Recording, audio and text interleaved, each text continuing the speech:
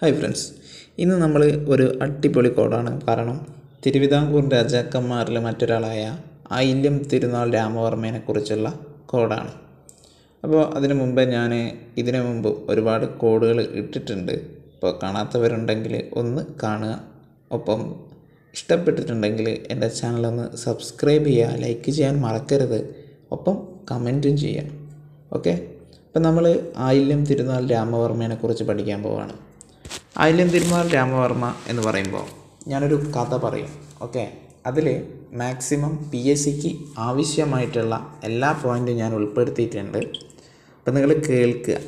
Simple കഥയാണ് കേട്ടോ. വളരെ സിമ്പിളായിട്ടുള്ള ഒരു ചെറിയ കഥയാണ് നിങ്ങൾ കേൾക്കുക. ഓക്കെ? അപ്പോൾ കേട്ടോളൂ. ഫസ്റ്റ് പുനലൂർ തൂക്കുപാലം. പുനലൂർ തൂക്കുപാലം.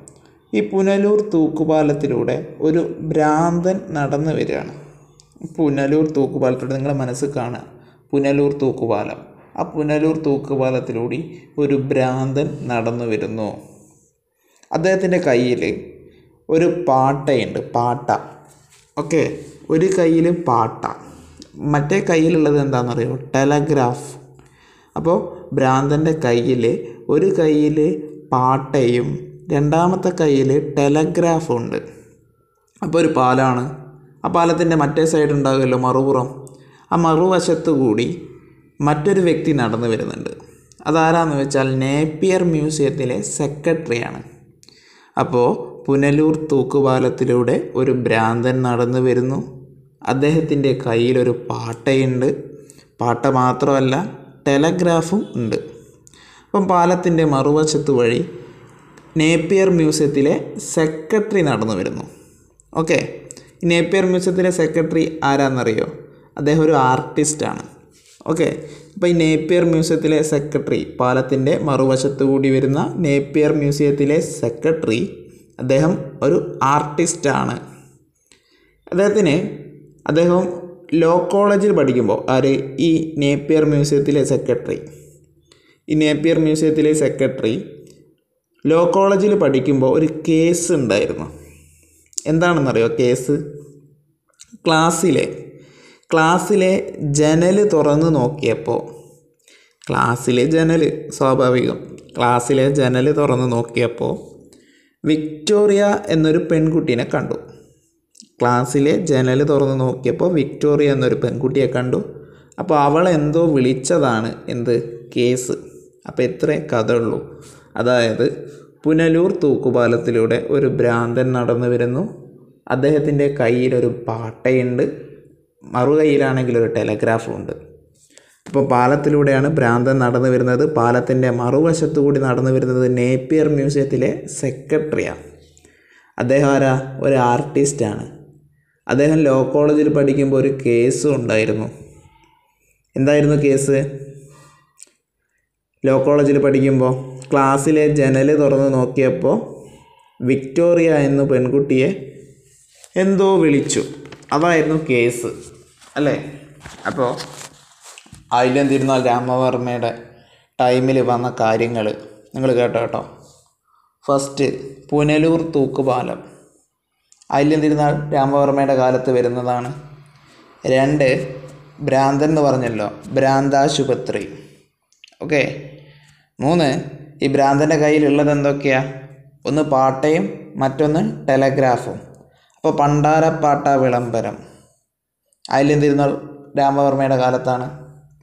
പണ്ടാരപ്പാട്ട വിളംബരം. പണ്ടാര പാട്ട വിളംബരം. അടുത്തത് എന്താ ടെലഗ്രാഫ് ഉണ്ടല്ലേ? അപ്പം നാലാമത് ടെലഗ്രാഫ് കണ്ടുപിടിച്ചത് ആയില്യം തിരുനാൾ രാമവർമ്മയുടെ കാലത്താണ്.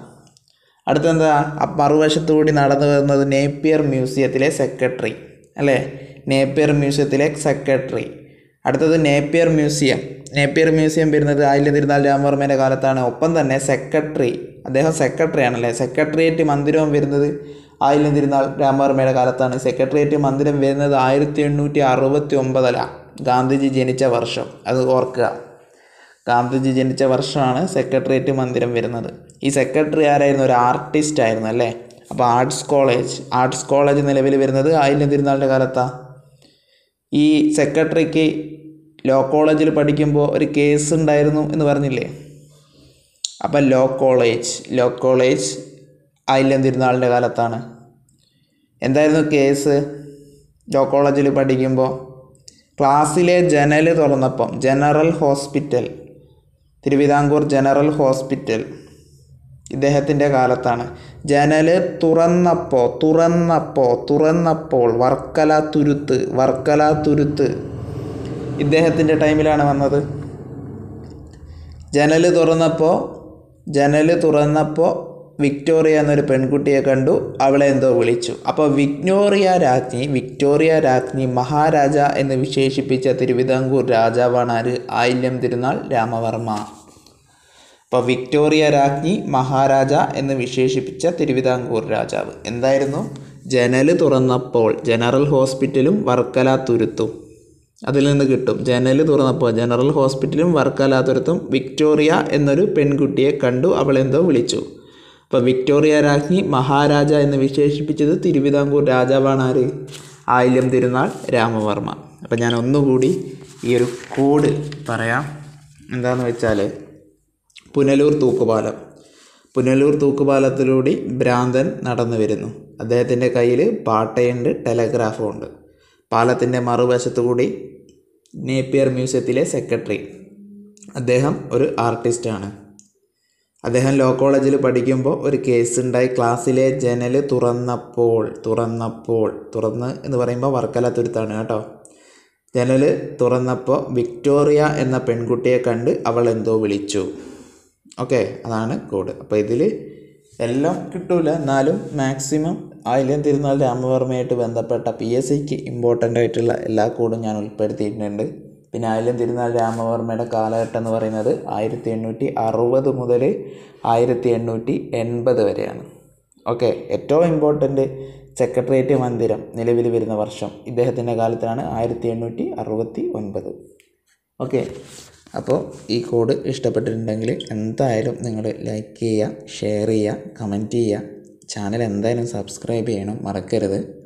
ഓക്കെ അപ്പോൾ ഇതുപോലെ ഒരുപാട് കോഡുമായിട്ട് ഞാൻ നിങ്ങളുടെ മുന്നിൽ വരും. താങ്ക്